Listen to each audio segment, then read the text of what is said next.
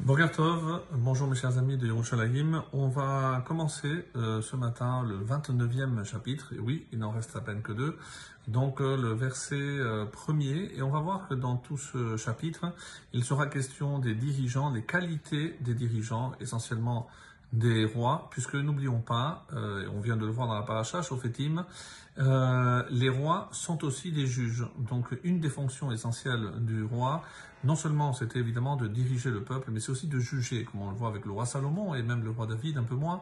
Et euh, voilà pourquoi le roi Salomon ici euh, va consacrer ce chapitre essentiellement à toutes ces qualités pour savoir ce qu'on doit attendre d'un véritable roi, d'un véritable dirigeant. Et le premier verset nous dit Ishtochachot makshe oref. Alors, Ishtochachot, il y a deux façons d'interpréter. Euh, un homme qui a subi des euh, reproches ou un homme Ishtochachot, un homme éprouvé, qui a malheureusement vécu beaucoup d'épreuves. Makshe oref, il raidit sa nuque. Donc, on va prendre le premier sens. Ishtochachot, comme on dit, Ishtochachot, c'est... Euh, Makshe Oref lishmoa akavana chez Mochichim Otoharbe, selon le commentaire. Donc c'est un homme euh, qu'on réprimande souvent. Makshe Oref, il finit donc par raidir sa nuque. Il devient presque insensible donc à ses, euh, reproches. Peta yishaver ve'en marpe sera brisé. Peta, c'est pit homme, nous disent nos chachamim. Donc il sera brisé soudain VN marpé et sans remède. Donc dès l'instant où je ne suis plus, euh, on va dire, euh, assez réceptif à des réprimandes, donc je bloque euh, ma réceptivité, c'est ça ce qui raidit sa nuque, il n'entend plus, malheureusement tôt ou tard, donc il n'y a pas de remède, puisque euh, on verra bientôt aussi, euh, pour la préparation au mois de Elul, une des conditions pour faire teshuva, c'est garder donc cette réceptivité, cette ouïe, et tant qu'on entend et on réagit, donc il y a toujours moyen d'améliorer. Mais si je deviens insensible, je bloque cette réceptivité, en marpé, il n'y a pas de remède. Donc deuxième verset, Birvot Sadikim Yismacham. Quand les justes se multiplient, le peuple se réjouit. Il y a plusieurs euh, exemples ici de quoi on parle. Bimshol Moshlim Tzadikim. C'est lorsque les dirigeants sont des justes. Pas s'il y a beaucoup de justes dans un peuple, mais au contraire, c'est que on est dirigé par des gens qui sont justes. C'est pour ça que Yismar, c'est un futur. On se réjouira. On aura des raisons non seulement d'être content maintenant, mais de se réjouir constamment. Et on donne des exemples par exemple, dans Shaoul, Shmuel Aleph, chapitre 11, verset 15, Vaishma Sham Shaoul vechol Israël admeod. Donc euh, ici, non seulement c'est Vaismar euh, Sham Shaoul, il s'est réjoui, mais tout Israël s'est réjoui avec.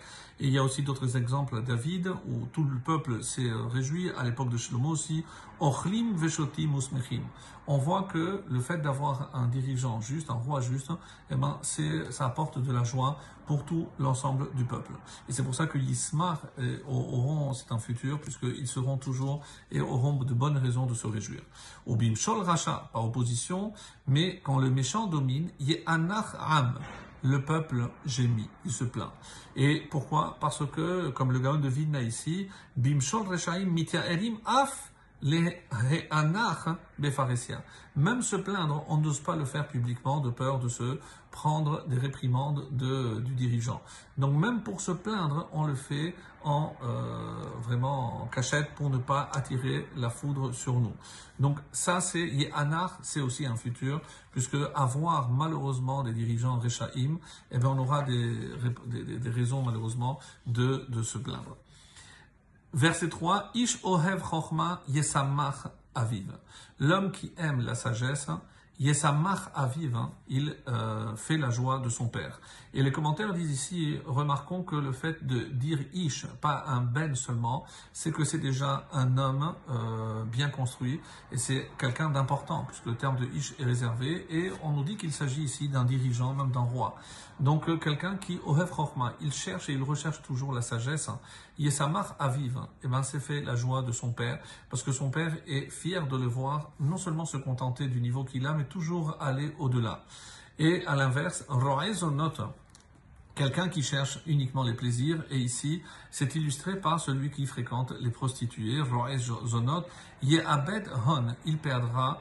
Alors, Hon, généralement, c'est son bien, mais euh, une explication nous dit aussi que c'est comme On. On, c'est la force physique, Reshit Ono, le début de sa force. Pourquoi? Parce que à force de dépenser son énergie avec des femmes, il n'utilisera pas cette énergie pour diriger le peuple comme on attend de lui. Ça, c'est par opposition à celui qui recherche la sagesse. Et pour terminer, Dalet, le 4, Melech Mishpat Ya'amid Aretz. Un roi, par la justice, par l'équité, Ya'amid Aretz maintient son pays. Grâce à la justice, un peuple peut tenir. Ve'ish terumot yehersena, mais un homme qui fait terumot, des exactions, on va traduire d'autre façon, le ruinera. Qu'est-ce que c'est ish terumot? Alors, il y a deux façons d'interpréter. Comme on l'a vu dans la paracha, Levilti rum levavo. Terumot, c'est un homme hautain, un roi hautain. Attention de ne pas élever ton cœur au-dessus de, des autres, de croire supérieur. Mais il y en a qui disent aussi que euh, terumot, c'est ce qu'il prélève. Pourquoi? C'est des missiles et arnonotes. C'est quelqu'un qui met des taxes.